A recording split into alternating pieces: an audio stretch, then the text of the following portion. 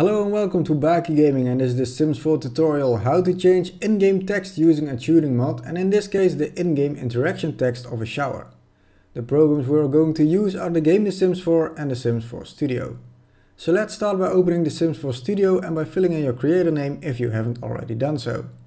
Now you can choose to make an override of an item made by EA or to make a standalone item. I'm choosing for the standalone item so I can show you the difference between the original and this new one more easier later on in this video. As standalone is already selected, click the Object button. In the next window, type the code A50E into the search bar to easily find the object we are going to work with. Select it and click on Next. In the next window, name your file and click on Save to make it into its own package file.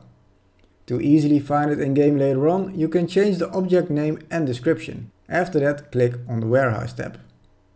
In the Warehouse, scroll all the way down and click on one of the definition lines.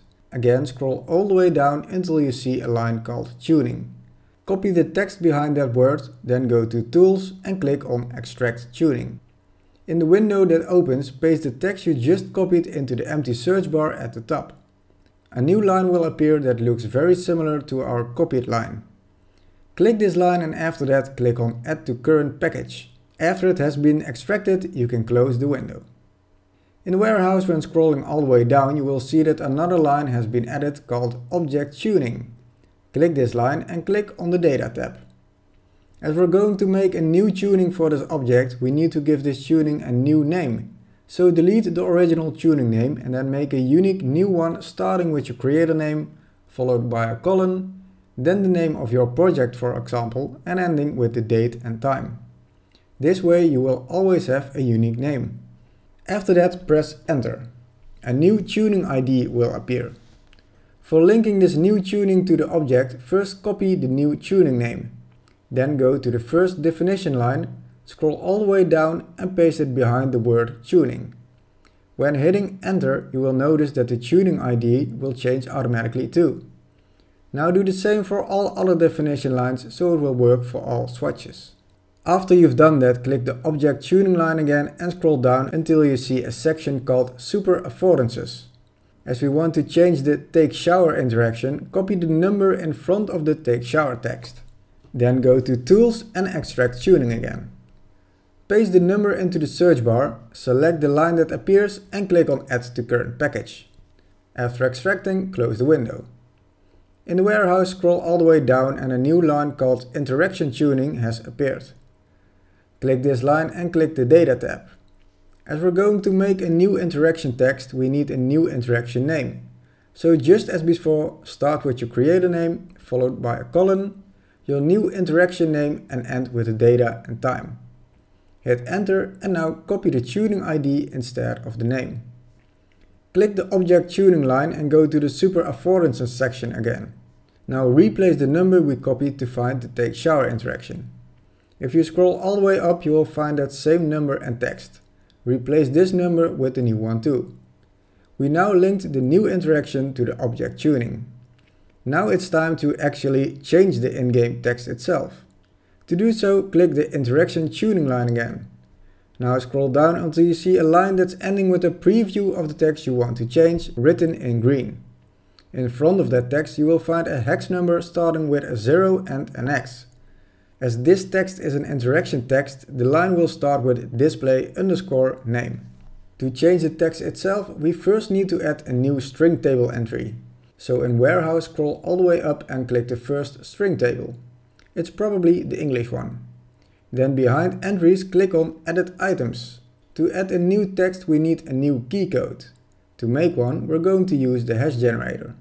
So first click Cancel. Then go to Tools and click on Hash Generator.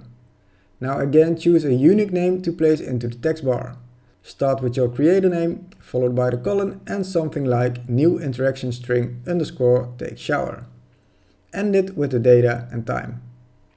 Then copy the number behind FNV32 and close the window.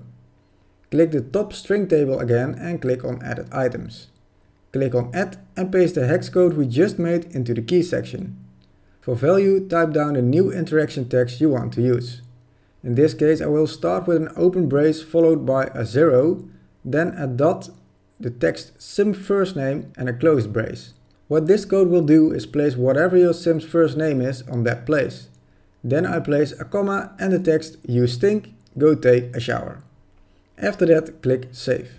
To copy this text to all string tables for every language, Studio has a handy cheat code that will do all of that for you in just one click. Go to Tools, Modding and click on Copy String Tables to all languages. If you don't do this, people playing the game in another language than English will get an empty interaction balloon. Now the last thing we need to do is link this new text to the interaction tuning. So click on the interaction tuning line at the bottom of the warehouse and on the XML tab. Now scroll down to the same line we found before with the text we want to change, written in green. Select the code right behind the X and then press Ctrl V to paste the hex code we also used as key code for our new text in the string table.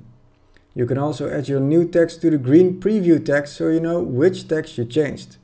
I always keep the original text, use a backslash and then type down the new text. After you've done this, click Save, move your package file into your mods folder and test it out in game. Now this is what the original take a shower interaction looked like. And this is how it looked with my mod installed.